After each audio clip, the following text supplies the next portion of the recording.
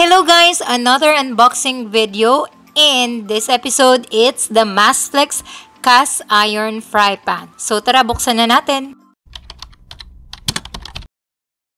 Ayan, buksan na natin. I'm really excited kasi gustong gusto ko talaga magkaroon ng cast iron pan dahil perfect ito for baking and cooking, especially yung mga steak, yung mga sizzling.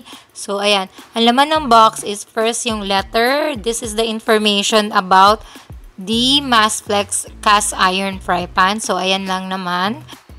And then, ito na nga yung ating oh, cast iron pan. Ayan, sobrang heavy duty nito and talagang mabigat siya.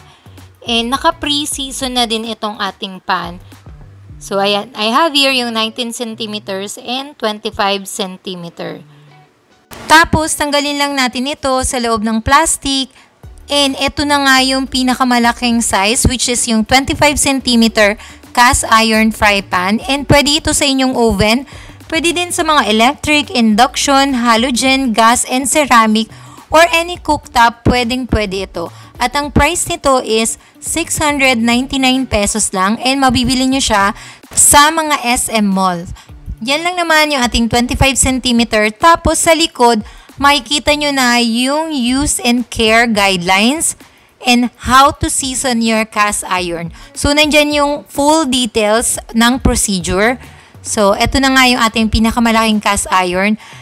Also, meron din sila nung 19 cm na perfect for 3 to 4 servings. So, dito sa tag, ano pa, ayan, makikita nyo meron na siyang spout and perfect size ito for small family.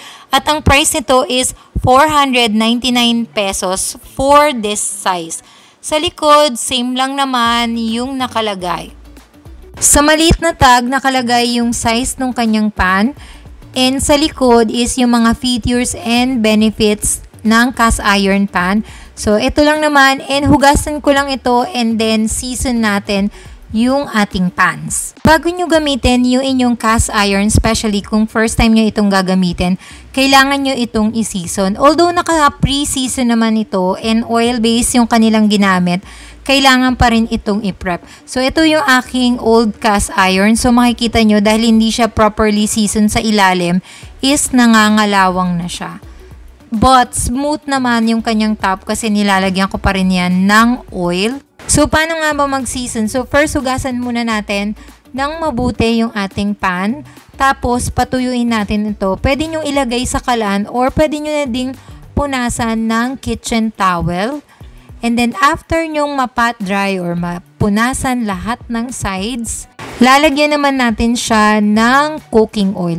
You could also use um, liquid shortening kung wala kayong cooking oil and i-spread out natin siya doon sa buong pan hanggang doon sa handle at pati yung ilalim. Lahat dapat lalagyan nyo ng oil para hindi ito mga lawang.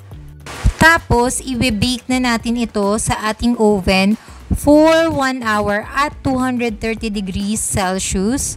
So, yan, nilagay ko na siya sa oven. And for the setting, nilagay ko siya sa roasting kasi yun yung may pinakamataas na oven temperature.